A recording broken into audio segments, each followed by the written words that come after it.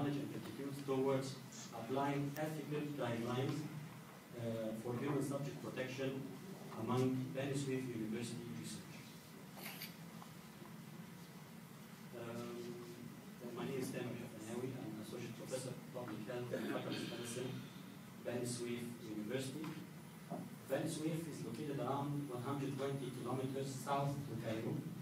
Beni Suef University is one of the uh, newest was a branch from Cairo University, and uh, now it's a, separate university uh, since 2000.